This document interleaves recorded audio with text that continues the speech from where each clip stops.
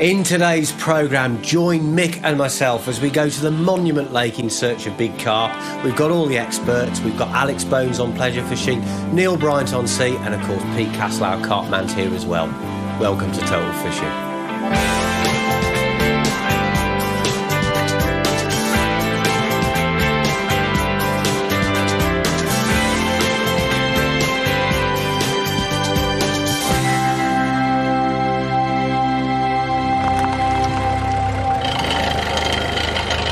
Well, here we are, Sir Michael, sunny Shropshire at its best. Yeah, very sunny. Fantastic, isn't it? It's awful, isn't it? Well, folks, let me tell you, a little bit of bad weather hasn't stopped the Arkansas Chuggabug getting us here. We've only just about made it. We're in Shifnal. This is the Monument Carp Fishery. And whatever happens with the weather today, it's going to be an action packed show from start to finish because, apart from anything else, we've got all those wonderful tips and hints that would make even Sir Michael a better fisherman for you to look at, whatever style of fishing you're into. And of course, a little bit of rain never put me in the duke off from trying some carp fishing, and that's exactly what we're here to do. Yeah, I'll tell you what, mate, I don't like the look of that black cloud. No, it's really.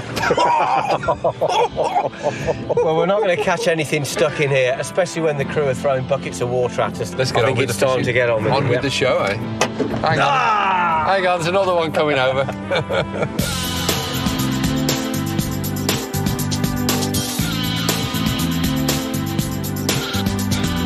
Bought an old summer shirt, but I don't think I've been needing it.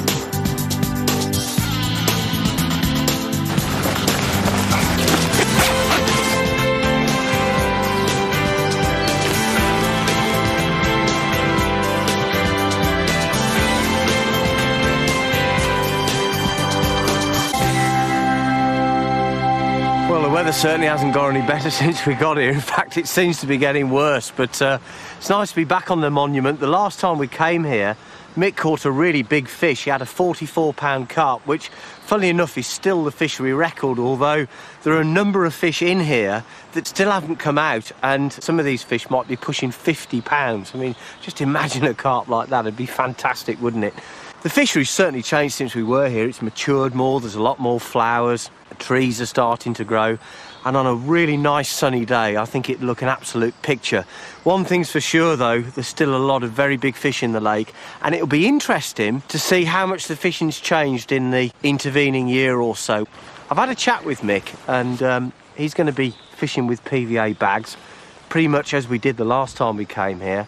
But I'm going to take a gamble. I'm going to try and fish one rod over a bed of bait, some hemp and maize, and maybe some maggots, and um, see how we get on with that. And if it stopped raining, probably be good fun. This. So while I get to work with a marker float, remember that Total Fishing has got something for everyone. And here's our sea fishing expert Neil Bryant, who's talking about rubber baits. The mind boggles.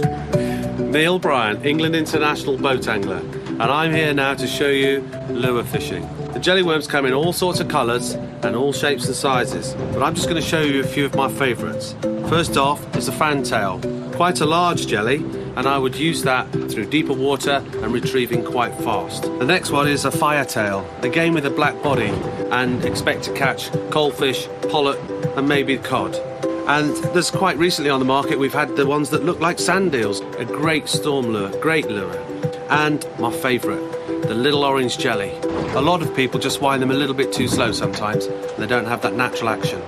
And the way I mount this on the hook is to literally run the hook through the front, run it down and around the bend in the hook, along the shank, straighten it out, and there you have it. A really nice, well presented jelly worm. Another way of fishing for the great fish, pollock, coalfish, cod. Jelly worms. A great way of fishing, and I love it. Well, I'm just um, spotting out some bait onto the left-hand edge of one of the features here. The interesting thing about this lake, when it was constructed, is that there was a feature put into every swim. Some of these little gravel bars, others are more like little egg carton type humps and things, but there's always something to fish to. And in this particular swim, there's the edge of one of the features over on the left-hand side, and it's a real hot spot. So what I've decided to do is to spot some bait out there. I'm putting out hemp and maize. I'm going to fish that on one rod with my feeder. So you'll have the better hemp and maize there. I'll cast the feeder with the maggots over the top of that. There'll be plenty of bait there to hold the fish if I can get them in feeding on the maggots. And then the right hand rod, I'm going to fish out in the middle, probably on a bag, and just move it around wherever I see fish show. So, seems like a good tactic to me anyway.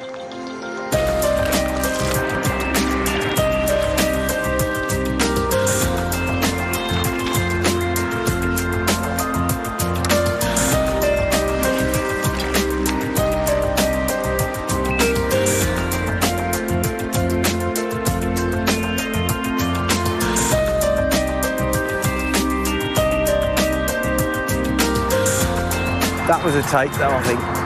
Yeah. Well, that's the highlight of the day so far. Matt's just missed one. I put it down to poor rigging myself. I'll go and give him a few tips. it does pay you when you're carp fishing to get comfortable, get a nice shelter to keep the wind off you, comfortable chair. I think I've done all I can at the moment. I think the rigs are as good as I can get them. And at the moment, I can't think of anything better to do than just enjoy this warm breeze that's blowing across. It's really down to the carp now, and uh, I'm going to have a nap, I.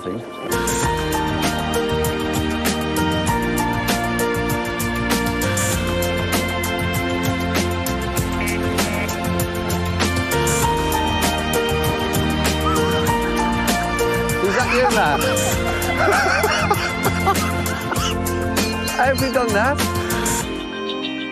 When I'm struggling for a bite, this is one of the things that I do. I tend to use a, a fluorescent pop-up hook bait and a PVA bag, but it's what goes in the bag that creates the real interest. Now, I've got some baits out in front of me here. In this one, I've got some maize, some mini halibut pellets, dynamite bait ones, and a little bit of marine halibut pellet ground bait just to dry it all out. Next to it, I've got some white maggots. These are a key part of the bag mix. I'm going to put in about a third of a handful. And then this might interest you. This is liquidized bread here. It's basically ordinary sliced bread that's been put through a food processor and blitzed. So we'll put a little bit of that in and then go back along the row. Little bit more maize and pellet mix. A few more maggots, not quite so many this time. And then a little bit more liquidized. That's all in the bag. I'm going to compress it by using this stick, really squash it down to make a nice, compact, castable bag. Once you've done that, just chop a little bit off. And to keep the bag nice and neat, what I do is just cut a couple of handles, like so, and you can get the bag really compact. It's better than the normal overhand loop method using the whole bag, this is. There's the bag. Chop off the handles, and there you go. Now, I fish this in conjunction with a little fluorescent, over-flavoured pop-up. And I reckon it's absolutely deadly when you're really struggling to get a bite. Doesn't always work, but it's one of those things that can often catch you that one very difficult to catch fish. So I'm all bagged up and ready to go. Still no fish, but I'm sure they're going to come. In the meantime, though, let's hear from our match fishing guru, Alex Bones. Here's a great tip for colouring and flavouring your meat.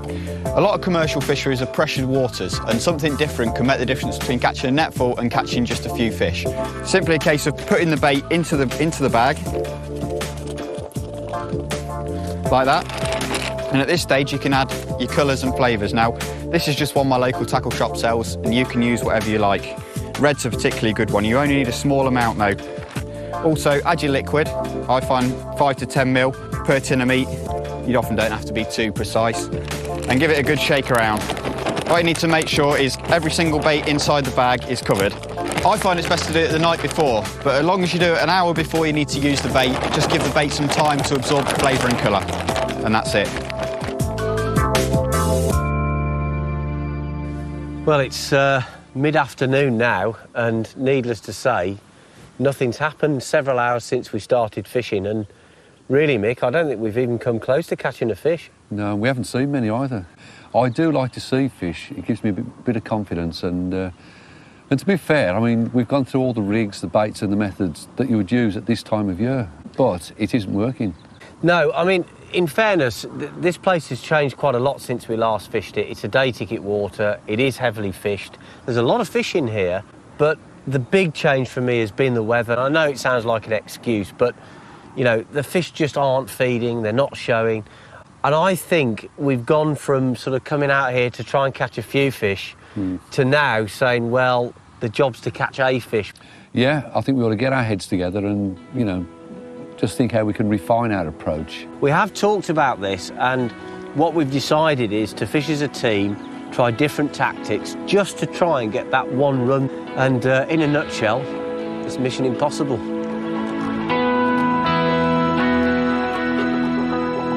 What I've got here is a little pineapple popper on quite a long mono hook link. It's around about two and a half to three feet long.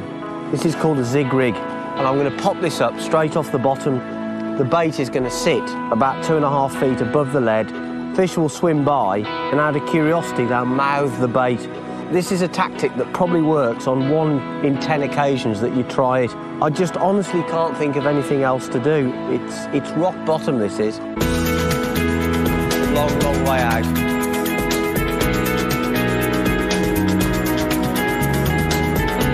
Oh no, got anything for a fish at this stage. quite honestly. Well, to be honest, a few fish from here. The things that Matt and I do when we're fishing are based upon logic and we try and read the situation and adjust our rigs, methods and baits accordingly. Maybe the carp had drifted into this corner. I've just got a hunch they may have blown down this way with the wind.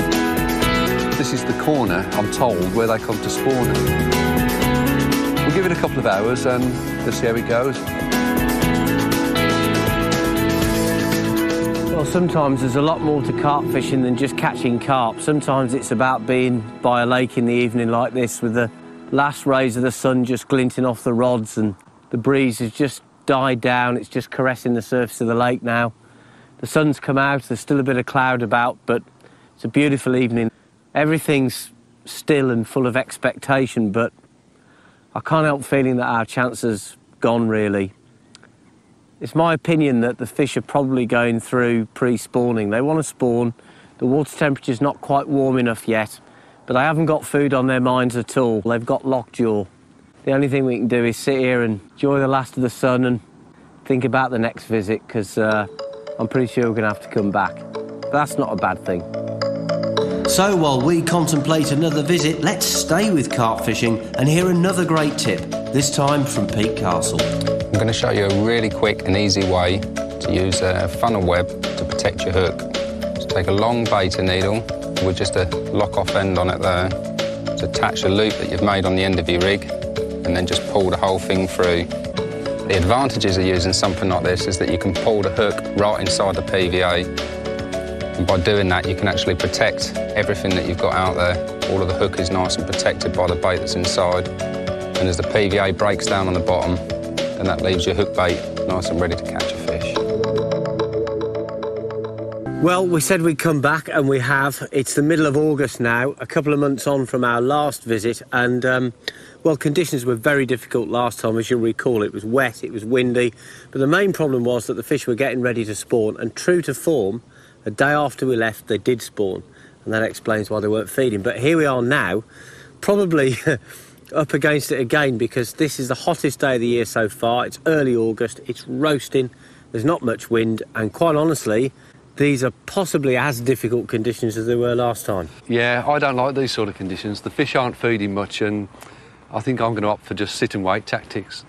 I've got two PVA bags out there full of hemp, and I'm just going to just hope the fish feed sometime during the day before we go? I'm going to fish the feeder with maggot. I d- I don't think the fish will be in for a load of conventional bait, but I think it's very hard if you fish the maggot well for the fish to resist maggot. And the great thing about this place is there's only carp in here. Yeah, so you've got true. no nuisance fish. So that's going to be my tactics. Yeah. Well, we've got to catch on this time. There's 300 carp in this lake in front of us, and although it's not an easy fishery these days, there's some big fish here. I personally think our best chance is going to be mornings and evenings, but um, you never know. If we work at it, we might just get one. Put a lot of maggots out with a spod. It's a good tactic. Right on the spot. What was that on, mate? I've just put about six or seven maggots on a size 10. I've probably made about a dozen casts to get a bit of bait down on the deck. And away she went, mate. Brilliant. It's a nice looking carp. And yes, well done, Brownie. Yeah. Great. Well, there you go. Typical monument fish, very pale in colour. Classic monument shape. Not the biggest fish in the lake. They go to well over 40 pounds, as Mick knows only too well. But uh, we're off the mark, and on a day like today, a fish like this is a real bonus. Plenty of action. Very unusual dorsal. Had a bit of a, an encounter when it was younger, no doubt. Oh, would you believe it? I'm away again. Beautiful fish, look at that. It's over 20 pounds. Come on then, Quasimodo. That's a big fish of the future, that is. One of my favourite ways to fish for big carp is with the maggot feeder. It's something that you don't see enough of. Carp are like every fish. They absolutely love maggots. And the monument is a classic place for fishing the maggot feeder. Why? Well, there's a lot of fish in here. They might be big, but a lot of fish means competition. And nothing gets fish feeding like loads of maggots. This is the rig that I'm using. This is a safety leader. I've got a Korda safety clip and the largest size of oval block end feeder, which is a two and a half ounce feeder. It's a big one, it holds a lot of maggots. I've got a ring swivel below that, which is actually part of the safety leader anyway. And then this hook link is about two feet long, 12 pound fluorocarbon. And then at the hook end, I've got a hair with a couple of small pieces of rig foam on it. And what that does is it neutralises the weight of the hook, so the whole hook bait sinks really slowly. So any fish coming along, sucking at the maggots, the hook will fly straight up into their mouth because basically that's a neutral buoyancy rig. And that's it, it's very, very simple. The rest of the job is about filling up the feeder on a regular basis and casting it onto the same spot every time. I'll be making casts every five or ten minutes. I'll do that probably for the first hour and then I'll start to lengthen the duration between casts up to 15 minutes and ultimately 20 to 25 minutes. So the idea is just to get some bait on the deck. Once you've done that, you can reduce the frequency of the casts, sit back and wait for the runs. With the sun beating down, it might seem a bit strange to think about fishing at night, but that's exactly what our carp expert Pete Castle wants to talk about. Night fish has become an integral part of carp fishing, and I've got three bits here that will help you with that process. One is the headlamp. Now, these are brilliant because they keep your hands free at all times. Now, when you want to do tie rigs and things like that at night, then it's important to have your hands free. Another little gadget that I've got here is a light receiver. This light receiver works off the buzzers and it's set to a four bleep. So you've got one bleep, two, and then you can see the lights come on. You can have that hanging up in your bivvy, and you've got light straight away to pop on your boots and get out there and look into the fish. Another one that I've got down here that's really, really good is a sound sensitive one. So I just started talking then, and you can see the lights come on. So again, you have it hooked up with the clips in your bivvy, and then when you get up for a fish in the night, the lights automatically come up and illuminate your swim. So you've got three pieces of equipment there that'll illuminate your swim when you get a fish. I'd go in at first. We struggled a bit the first time we came here. It's come really good this time. Hope you've enjoyed all the hints and tips in the programmes. There'll be loads more of those next time. But for me, it's been a fantastic day. And from the Duke and me, good night.